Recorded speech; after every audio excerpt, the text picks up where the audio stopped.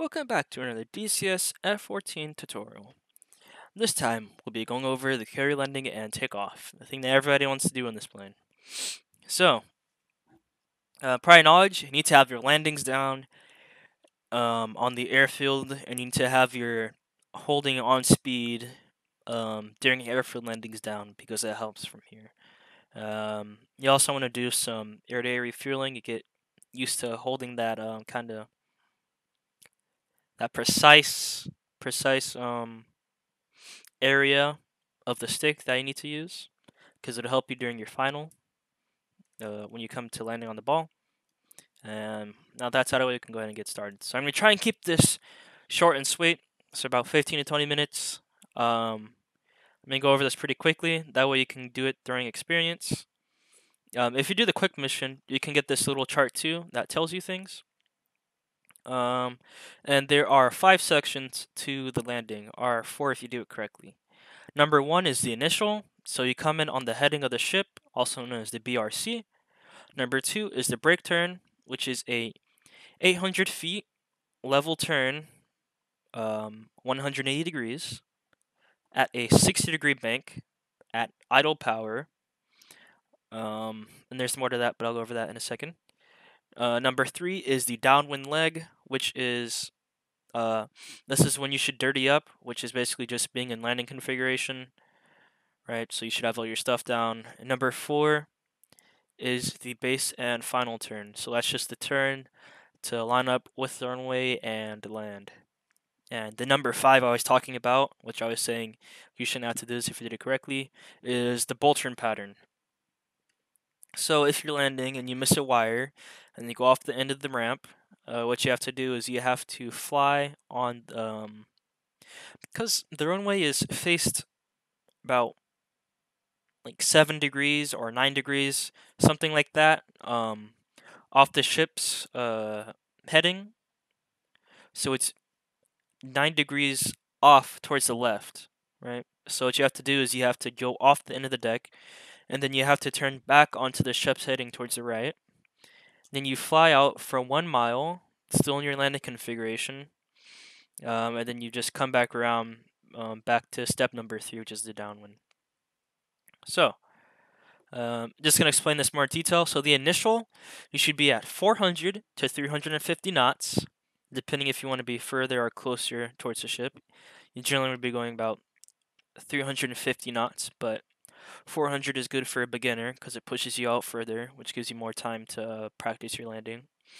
Uh, so I'll do this in the kind of training way that most people would do this, not the actual landing way. I'll do it the second time. Uh, so you're gonna be coming 400 knots uh, at 800 feet with your hook down, your stabilizers on, and your wings fully back, right? So you want to be holding level at 400 knots. Basically, um, flying the heading of the ship, but parallel to it by about 1.1 miles on the right of it. Right, so you can actually look over and see if the deck is clear. Um, number two, you want to be going into the break turn, and you do this by holding a level turn at 800 feet using 60 degrees of bank with your power at idle, your speed brake extended, and just holding that level turn. During that level turn, you'll hit a few speeds, right? So at 300 knots, you want to be holding, uh, not, my bad. At 300 knots, you want to have your wings in auto, right? So the wings start coming forward automatically. At 280 knots, you want to have your gears down. At 225 knots, you want to have your wings, or your flaps down and your slats deployed, which automatically deploy with the flaps. And once you roll out, you want to have your DLC selected once the flaps are down, right? And during all those speeds, all the way to when the DLC are deployed, you want to be holding that 60 degree 800 feet turn. Right? And once you're on the reciprocal of the initial heading that you were on, then you can start descending to 600 feet um, on speed right? So I'm going to be holding 600 feet on speed, which is about being 10 degrees 10 degrees on the pitch ladder on speed will pretty much hold you level generally. If it doesn't, well then adjust for it. But uh, on the downwind, you want to be 600 feet and you want to uh, be dirtied up. So that mental checklist that we had to do in the break turn should be already set. Um, you should be coming abeam the ship, right? So to the right of the ship. Whenever you reach this little dome over here, right? You'll see it when I zoom in on the actual uh, landing. But once you see this little dome, that's the beam point, right? Or the cross check of the actual landing. So you check your distance on the TACAN, how far you are from the uh, ship at that point, and that's basically just a guideline to um, how much bank you need to have in the base turn, right? In the base turn, which is this turn right here where the plane is, you want to be doing around a 30 to 20 degrees of bank, depending on your um, distance and the beam point. Uh, and you want to be holding a 300 feet descent rate until you can see the ball, right?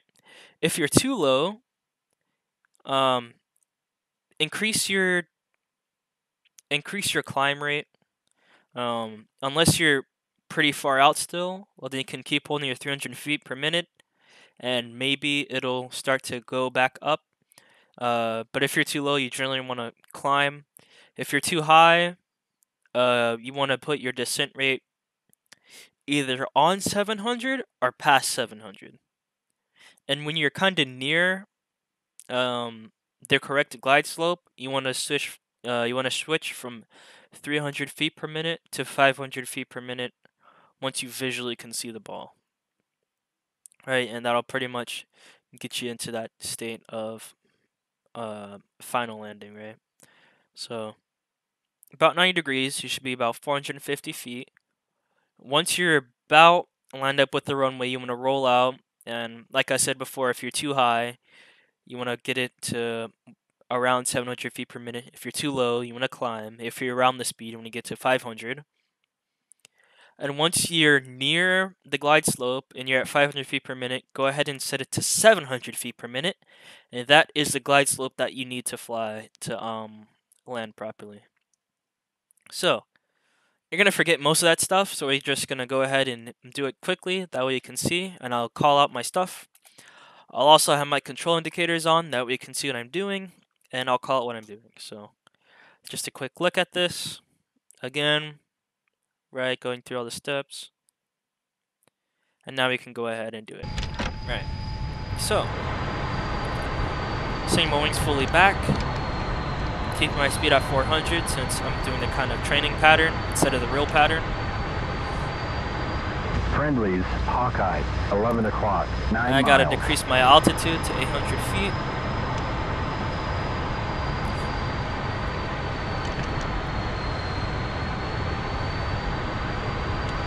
Doing smooth movements, that way I don't overcompensate for things.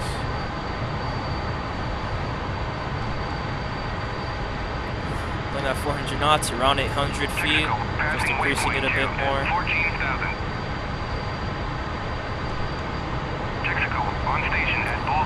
The hook is down, your own. 800 feet.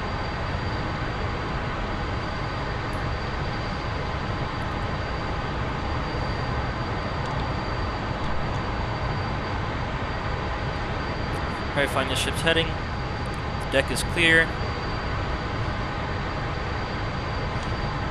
Alright, just did our checklist. Look for um, one mile out before you do that break turn. One mile out, 60 degrees of bank, holding level, throttle's idle, speed brakes are out. Just holding that level turn until we get to 300 knots.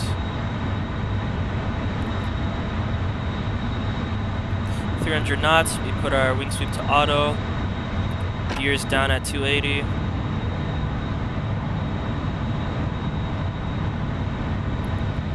Flaps and DLC are deployed. You come out on reciprocal heading. And we were just flying. We want to slow down to get on speed.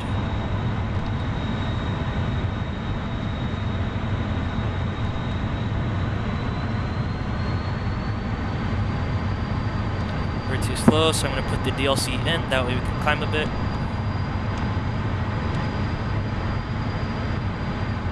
Alright, get level on speed.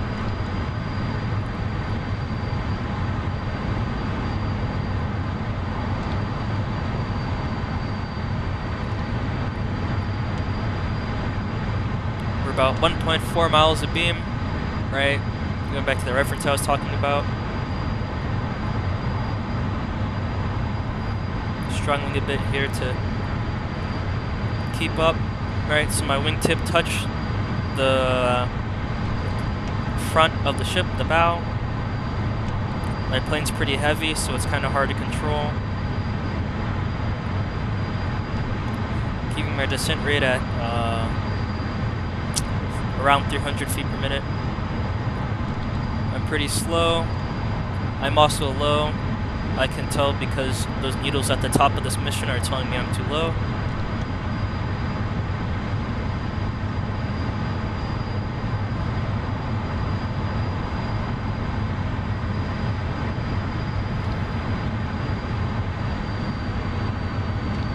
Back to that 300 foot per minute descent rate.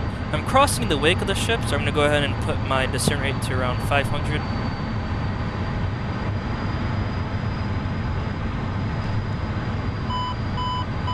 Also not really lined up with the runway. I'm gonna set I'm gonna set my descent rate to 700 feet per minute.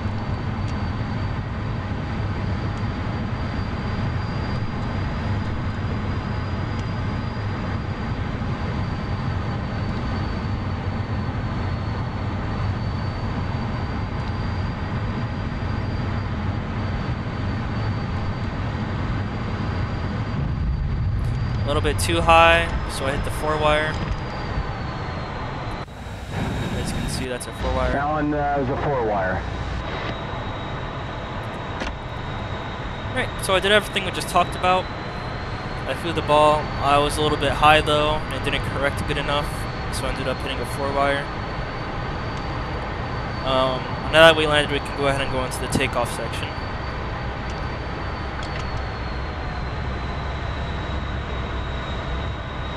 Right. So once we're off the wires,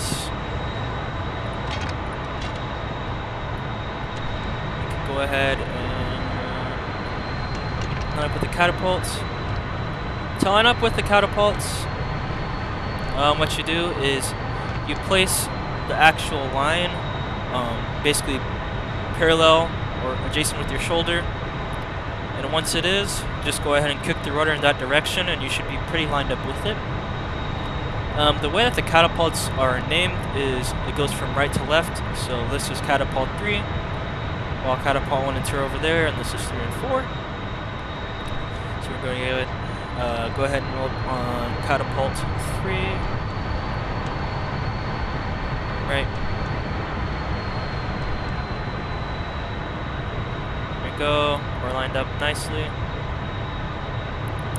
Now to hook up, we actually need to get this little hook down right here, right?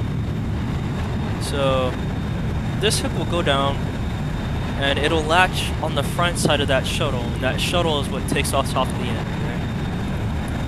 So we want to be first in front of that shuttle. So for number three, catapult number three, our reference is getting our butt lined up with that seven, right? And that basically puts our hook in front of the shuttle. So you'll see what I mean in a moment.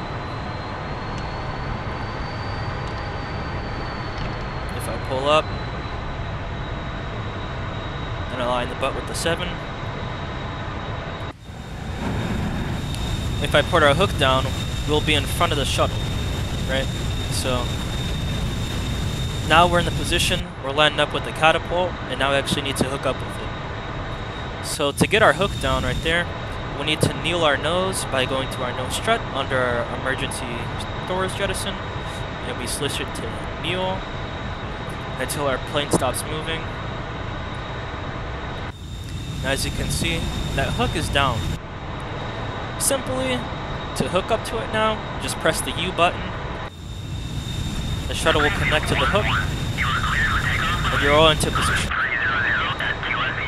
we know we're hooked because not only do we move back, there's steam coming out of the catapults, and our jet blast deflector is up behind us, uh, and that basically just deflects the jet blast, the, the jet blast upwards away from the crew that would be on the carrier. Alright. So now we're ready to take off, but we are not set for takeoff. So to be set for takeoff, you put your wing sweep to auto, you put your flips foot, you put your flaps fully down, you set your trim to 3 degrees of trim. Alright, 3 degrees of trim upwards. 2 to 3. Alright, make sure your mode, uh, your HUD is in takeoff mode. You're all set, or your altitude is set, everything is good.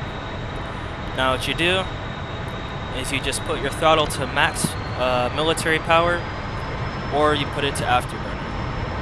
Right? And then you just hit the catapult shoot button, which mine is set to my joystick, so I just hit catapult shoot, and you should move forward. You can launch off the end of the deck, hit gears up, hit flaps up, go ahead and switch into cruise mode, and then you fly away.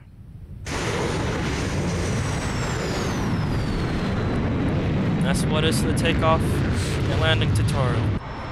But I kept this kind of short because carrier landings really just come down to experience. So if you just review over that sheet again, you just watch my landing again, uh, and you go ahead and do it yourself, it'll come naturally, and you'll get the feel for it. So that's the carrier landing and takeoff video.